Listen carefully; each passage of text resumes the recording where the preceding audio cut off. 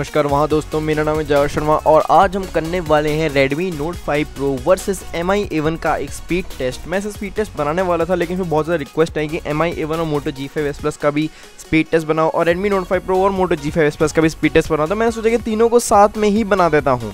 तो फिर ये रहा स्पीड टेस्ट जिसके अंदर अपन पहला राउंड करेंगे, जिसके अंदर अपन एक से एक बढ़ के ऐप्स खोलेंगे, एक से एक भारी वाले ऐप्स एक से एक बढ़ के हल्के वाले ऐप्स और फिर उसके बाद दूसरे राउंड के अंदर अपन उसका रैम मैनेजमेंट देखेंगे दोनों के, तीनों के तीनों फ़ोन्स का कि कौन कितने हैप्स को ज़्यादा देर तक होल्ड ऑन करके रख पाता है। फिर उसके बाद जो विनर होगा वो एंड में अनाउंस होएगा और रिजल्ट्स बहुत ज़्यादा शॉकिंग हैं तो मैं आपको सजेस्ट करूँगा कि इस वाली वीडियो को एंड तक देखें। और वीडियो स्टार्ट करने से पहले मैं आपको बताना चाहूँगा कि प्लीज़ सब्सक्राइब कर दो इस वाले चैनल को, क्योंकि वीडियो छोटी सी है, जल्दी ख़त्म हो जाएगी तो फिर ज़रूर देखना एंड तक। तो स्टार्ट करते हैं अपन Redmi Note 5 Pro versus MI A1 versus Moto G5 S Plus का एक स्पीड टेस्ट मैं पहले बता दूँ कि चारों के चार, तीनों के तीनों फ़ोन्स जो हैं, उसमें चार जी बी रैम है। मैं ज़्यादा पार्शलिटी नहीं कर रहा कि छः जी बी रैम वाला वेरिएंट लूँ। और दोनों के दोनों जो स्टॉक एंड्रॉइड पर चलते हैं Moto G five S plus और एम आई एवन लेकिन जो रेडमी नोट फाइव प्रो है, उसके अंदर एम आई यू आई मतलब उसके रैम मैनेजमेंट फीचर्स अलग होंगे। तो देखने लायक कॉम्पिटिशन है। तो चलो चार स्टार्ट करते हैं। तो अब चालू हो चुकी है दौड़।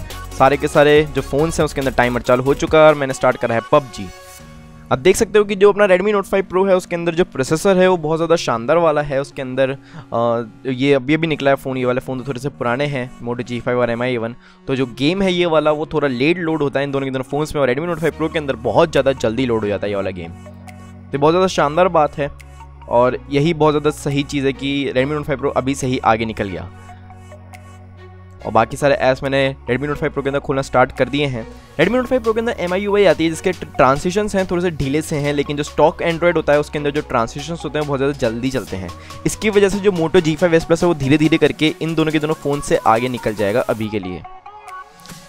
आप देख सकते हो कि एम आई बहुत ज़्यादा हल्की मतलब बहुत ज़्यादा ढीले तरीके से ऐप्स को खोलती है, लेकिन जो दोनों दोनों फ़ोन्स हैं, वो बहुत ज़्यादा तेज़ी से ऐप्स को खोले जा रहे हैं। आप देख सकते हो कि एम आई थोड़ा सा पीछे रह चुका है दोनों के दोनों फ़ोन से। फेसबुक को लोड करने में काफ़ी टाइम लगाया इसने। और Moto G five S plus ने लगभग सारे के सारे ऐप्स ख़त्म कर दिए हैं। रेडमी नोट फाइव प्रो वाकई बहुत ज़्यादा पीछे रह गया, इतनी ज़्यादा शानदार लीड मिलने के बाद भी गेम के अंदर। तो आप देख सकते हो कि पॉइंट आठ सेकेंड लगे हैं रेडमी नोट फाइव प्रो को मतलब कि पॉइंट सेवन नाइन से एक बार ज़्यादा। इसका मतलब कि रेडमी नोट फाइव प्रो हार गया है और जी फाइव एस प्लस इस वाले कंपटीशन में जीत गया है। तो ऐप्स खोलने कंपटीशन में Moto G five S plus जीत गया है, जो कि बहुत ज़्यादा शानदार बात है। और अब आगे अपन टेस्ट करते हैं कि कौन ज़्यादा देर तक इसको अपनी मेमोरी के अंदर रख पाता है। तो मैं वापस से सारे सारे ऐप्स को खोलूँगा और देखते हैं कि कौन सा ऐप मुझे ऑलरेडी खुला हुआ मिलता है। तो कंपटीशन वापस से स्टार्ट हो चुका है और मैं पबजी वापस से खोल रहा हूँ सारे सर फ़ोन में और देख सकते हो कि Moto G five S plus M I one जो है, वो पबजी वापस से खोल रहे हैं, वापस से रिस्टार्ट कर रहे हैं, लेकिन रेडमी नोट फाइव प्रो ने उसको ऑलरेडी अपने मेमोरी में रख रख रखा था। और वो डायरेक्ट वहीं से ही उसको खोल रहा है। इसलिए रेडमी नोट फाइव प्रो ने बहुत ज़्यादा शानदार लीड ले लिया इसके अंदर वो लोग गेम को ही लोड करता रहेगा और Moto G five S plus भी गेम को लोड करता रहेगा। एम आई वन भी गेम को लोड करता रहेगा। लेकिन जो रेडमी नोट फाइव प्रो है, वो बहुत ज़्यादा आगे बढ़ गया है। लगभग वो ख़त्म ही करने वाले अपने ऐप्स की लिस्ट और ये लोग गेम को ही ओपन करते रह गए हैं। एम आई वन ने वापस से लीड पकड़ ली। Moto G five S plus पीछे रह गया। पहले वाले कंपटीशन में जीतने के बाद Moto G five S plus वाकई में बहुत ज़्यादा पीछे रह गया है। एज़ कम्पेरिजन मेरे ख्याल से इसको थोड़ा सा घमंड आ गया था कि मैं ही जीत जाऊँगा। इसलिए पीछे रह गया। अब देख सकते हो कि M I one point thirty second से जीत चुका है Redmi Note five Pro already मतलब 33 सेकेंड किसे कहते हैं यार? 33 सेकेंड में से सारे के सारे ऐप्स खोल के बंद कर दिया मतलब बहुत सारे एम आई वन बार बार एम आई वन क्यों निकलता है मुझे समझ नहीं आती। और बाकी सारे ऐप्स खोल रहे हैं। और एम आई वन ने भी कॉम्पिटिशन कंप्लीट कर दिया। एक मिनट और दो सेकंड्स के मुकाबले और अपने मोटो जी फाइव ने एक मिनट और पाँच सेकंड के हिसाब से कॉम्पिटिशन कंप्लीट करा। मतलब कि जो मोटो जी फाइव इस वाले कॉम्पिटिशन में हार गया और अपने रेडमी नोट फाइव प्रो की जीत हुई। सेकेंड वाले कॉम्पिटिशन में एम आई ना जीता, ना हारा सेकेंड नंबर पर आया। लेकिन जो पहला वाला कॉम्पिटिशन था, उसके अंदर एम आई हार गया और अपना मोटो जी फाइव जीत गया।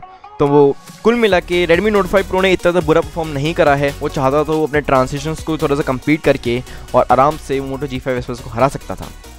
तो कुल मिला के मैं यही सजेस्ट करूँगा कि Redmi Note 5 Pro ही लो, क्योंकि 15K में अभी यही वाला बेस्ट फ़ोन है और कोई सा भी फ़ोन इससे ज़्यादा अच्छा आपको नहीं मिलेगा।